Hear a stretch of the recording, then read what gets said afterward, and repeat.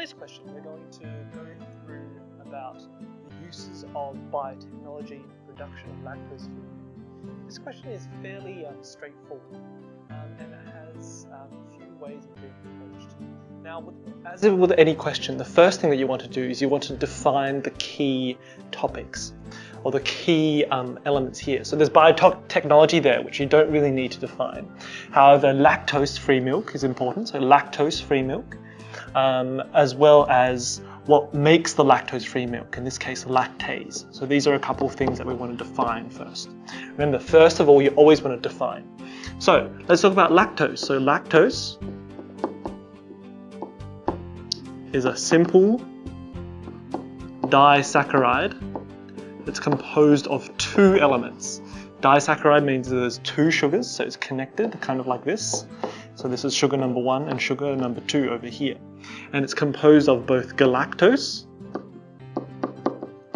as well as glucose. Okay? So that's the first thing. The next thing is that we want to talk about lactase, which makes the lactose-free milk. So just a quick reminder, lactase, most things ending with A's are enzymes. So let's first say that's an enzyme which breaks down lactose in milk to galactose and glucose. Good. So that's the first thing. And now with this on board, we want to talk about how this is relevant.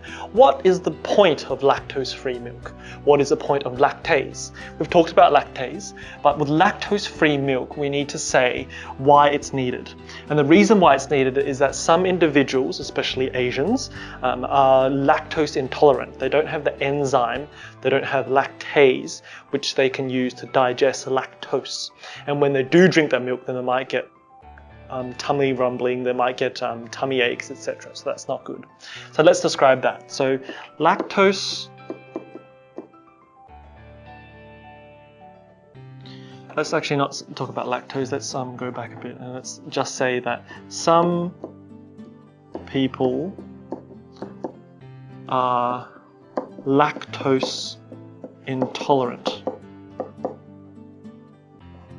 That means that they cannot digest lactose.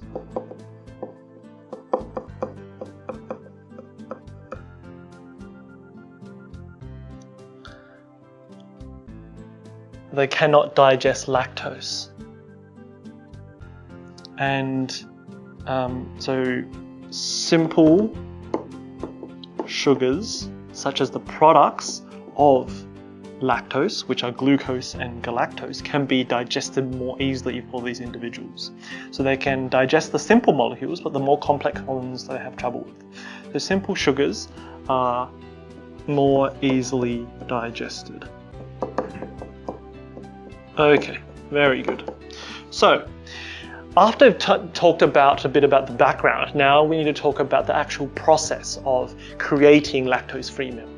So the first thing is that they get, uh, they isolate lactase, they like isolate this enzyme from yeasts. And then after they've isolated it from yeast, so they extract that and they put it onto beads. So these beads on like a slope like this.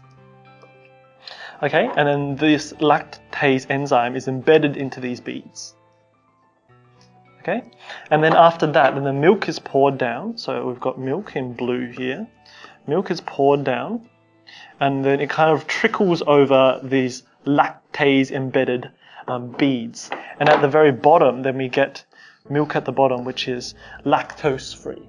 So lactose free, LF, milk. Okay?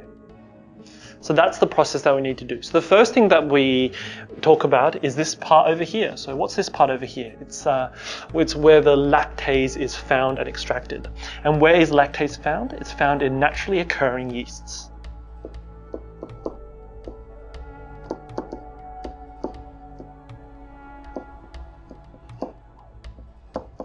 So once we have an organism, a creature that creates yeast, then we need to grow it and culture it.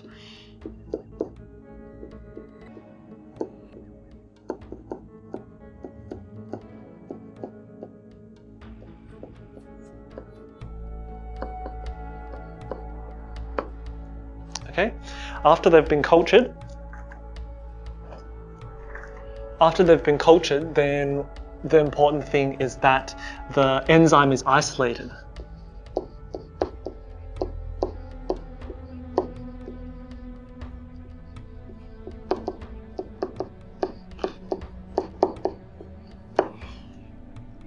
It's isolated. Um, so now we've got all this enzyme, these dots over here, and we need to embed them onto the green bits, onto the onto the beads, as it, as it says there at the bottom. So enzyme is embedded onto beads. Milk is passed over.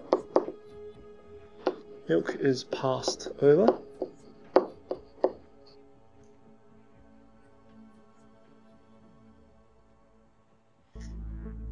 These beads to produce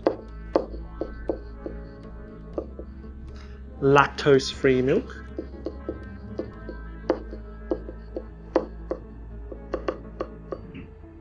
And then finally, the last point is that um, lactose intolerant people can consume lactose free milk. So the kind of thought process that you need to talk about is first of all define, then after that then you need to talk about the process which is occurring, and finally talk about the results, which is the production of lactose-free milk in this case, and that results in uh, people who are lactose intolerant being able to consume this product.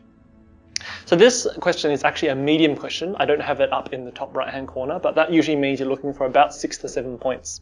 So those six to seven points here, so we can first talk about what lactose is and then what lactase is. Then we want to talk about lactose intolerance as well, um, as well as uh, the fact that um, for lactose intolerant people, simple sugars are more easily absorbed. Then we talk about the, this is kind of like the cutoff almost. And we end up talking about the process around about here, from here onwards. And then we talk about how lactase is found in yeasts and how they're grown and cultured, as well as how the enzyme is isolated. And finally, a bit about how we might not get a mark for this one here, but then at the very bottom, how uh, the generation of lactose-free milk can be drinked or or drinking by um, people who are lactose intolerant. So if we count those, those marks up, we've got about seven marks here, which will give us full marks. There are plenty more YouTube videos for you to check out, just click on the links below. If you'd like to download the questions, as well as the answers, make sure to like us on Facebook first. And finally, if you'd like to find out how I got a 7 in high level IB biology, make sure to check out our website in the bottom right hand corner. Thanks.